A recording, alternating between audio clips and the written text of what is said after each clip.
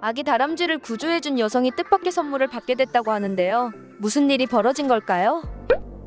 나무 밑에 떨어진 아기 다람쥐를 발견한 여성은 아무리 기다려봐도 엄마가 나타나지 않아 그대로 두면 안 되겠다는 생각에 집으로 데려와 보살펴줬다고 하는데요. 다람쥐를 키우는 방법을 전혀 몰랐던 여성이 책과 인터넷을 통해 다람쥐에 대해 공부를 하기 시작하며 다행히도 아기 다람쥐는 건강하게 쑥쑥 자라났고 다 자라나 다시 자연으로 돌려보내줬지만 나무를 타고 사라진 다람쥐는 매일같이 집으로 찾아와 자연과 집을 오가며 자유를 만끽했다고 합니다. 그렇게 2년이라는 시간이 흘러 집이 가장 안전한 장소라고 생각한 다람쥐가 집에서 귀여운 꼬물이들까지 낳으며 여성에게 귀여운 선물을 안겨줬고 여성은 언젠가는 자신을 떠날 줄 알았는데 이렇게 다시 찾아와줘서 정말 고맙다며 깊은 애정을 드러냈다고 합니다.